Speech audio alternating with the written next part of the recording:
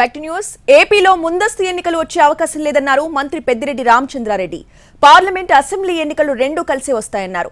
ఇక చంద్రబాబు రాజకీయంగా అంగవైకల్యంతో బాధపడుతున్నారని ఆరోపించారు మంత్రి పెద్దిరెడ్డి. ఒంటరిగా పోటీ చేయలేక వేరే పార్టీలపై ఆధారపడుతున్నారంటూ విమర్శించారు. రాష్ట్రంలో తమ పార్టీ బలంగానే ఉందని వేరే పార్టీల గురించి అనవసరమన్నారు మంత్రి పెద్దిరెడ్డి. కూడా ముందస్తు ఎన్నికలకు పోవాలనే ఆలోచన మా ముఖ్యమంత్రి గారికి లేదు. తప్పనిసరిగా మేము పార్లమెంట్ ఎన్నికలతో పాటే ఎన్నికలకు పోతాము. ఎప్పుడు జరిగినా.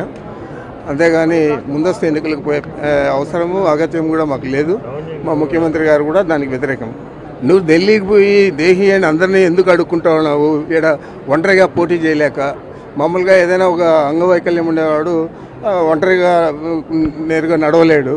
ఆ విధంగా రాజకీయంగా నువ్వు అంగవైకల్యం తెచ్చుకున్నావు కాబట్టి నీకు ఏదో ఒక సపోర్ట్ ఉండాలని చెప్పి ఆ సపోర్ట్ కోసం అందరిని చుట్టూ తిరుగుతున్నావు.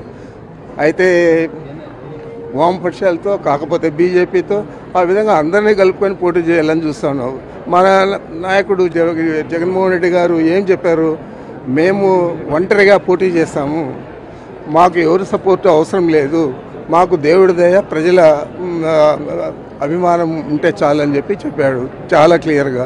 ఆ విధంగా మేము ఒంటరిగా పో పో- పోటీ చేస్తాం తప్ప నువ్వు ఎవరితో పుత్రులు పెట్టుకున్నావు లేకపోతే ఎవరితో కలిసి పోటీ చేస్తా ఉన్నావు లేకపోతే అందరితో కలిసి పోటీ చేస్తా ఉన్నావు అనేది అప్రస్తుతము మేము